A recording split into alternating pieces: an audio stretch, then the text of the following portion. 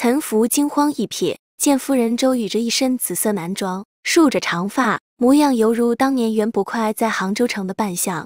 纵使此刻心中有无数疑问，岑福也知不能与周宇相认。要知晓陆毅、谢霄正在小蝶闺房中查探，事关重大，他暗自决定，等大人救出夫人，我再去向小雨解释吧。周宇是悄悄跟随谢霄来塞外的，粗心大意的谢媛媛并未发现。从京城到满城镇，周瑜宛若小尾巴一般，紧紧尾随着他。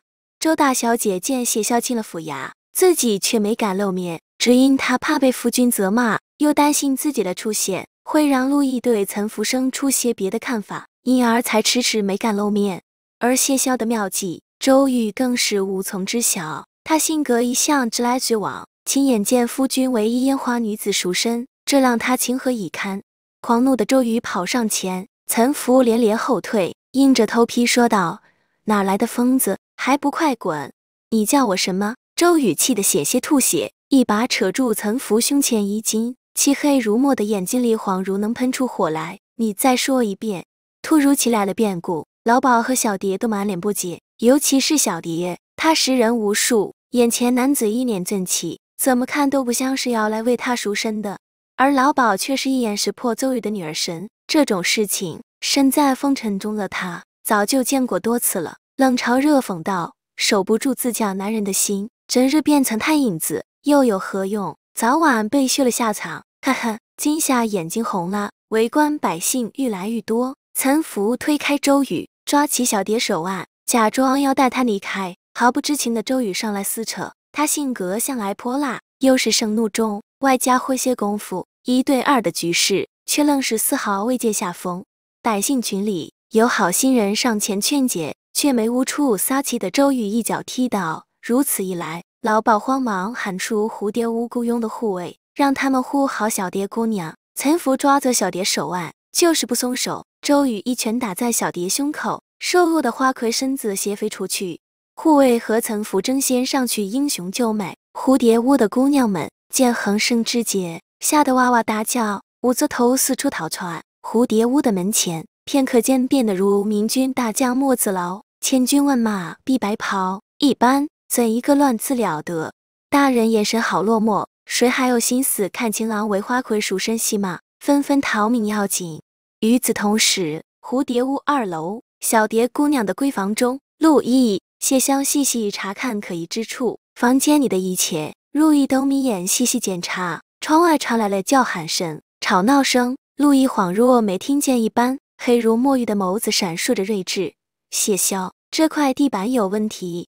我来。关键时刻，远远从怀中掏出匕首，轻而易举撬起地板砖。果然，一个足以容纳一人身子穿过的地窖口呈现在他们眼前。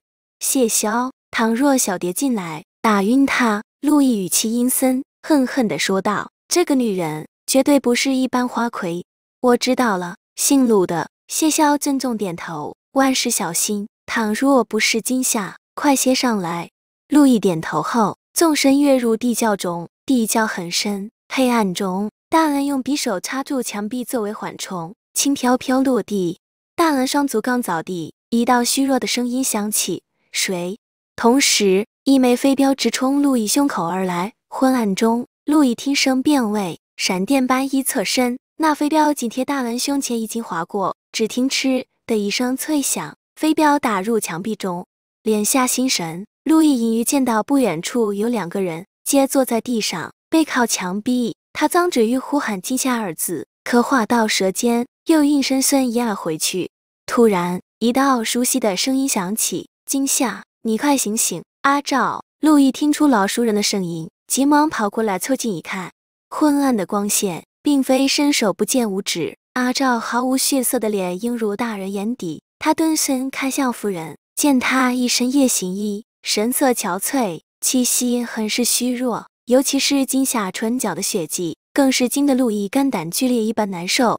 今夏，你受伤了？今夏抬起眼帘，舔了舔嘴唇，声音嘶哑：“大人，我就知道你会来救我。我没有受伤，只因长时间水米未进，浑身无力。那你唇角为何会有血迹？”陆毅急得险些流下眼泪，伸出双臂横抱起夫人，莫要骗我了，先离开此处再说。血迹靠在夫君肩头的惊吓，倏地想起阿照，莫不是自己昏迷之际，阿照为他积口血，那小瓷碗中的血，致使风铃嗷。陆毅抱着妇人，最欲往地窖口走去，瞥了眼靠在墙角的阿照，惊吓突然开口：“大人，可否将阿照一起救走？救他？”陆毅语气大变，语似他想救阿照。愚公大人恨不得阿昭灰飞烟灭。要知晓，府衙后院厢房里的阿舍，尽管侥幸吃了解药，至今还躺在榻上。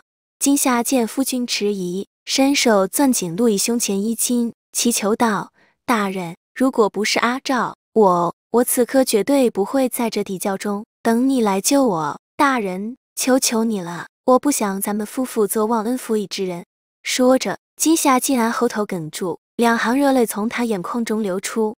阿照身受重伤，早就奄奄一息。刚刚他用尽最后的内力打出那枚飞镖，如今油尽灯枯一般，死亡渐渐向他笼罩过来。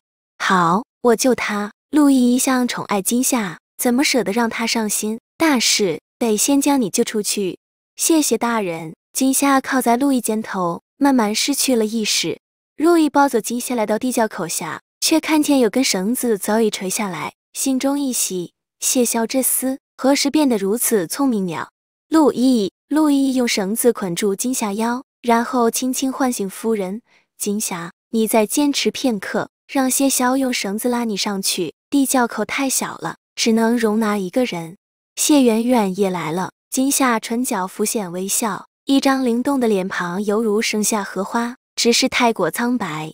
片刻之后。今夏终于再次见到谢萧，不禁感激道：“谢媛媛，多谢你的救命之恩。”袁大侠，你太客气了。谢萧解下他身上绳子，正欲扔一旁，今夏靠在墙边，虚弱道：“你将绳子一端抛下去，还有个人需要救上来。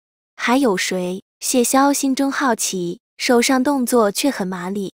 绳子沿地窖口垂下之后，过了一会儿。阿照一张毫无血色的脸呈现在谢霄面前。阿照，谢霄粗鲁地将他放在地上，幸灾乐祸道：“赵公子，原来你也有今天。”武功高强的陆毅施展轻功，如飞燕般从地窖口腾空而出，稳稳落在地上，打断了谢霄的话。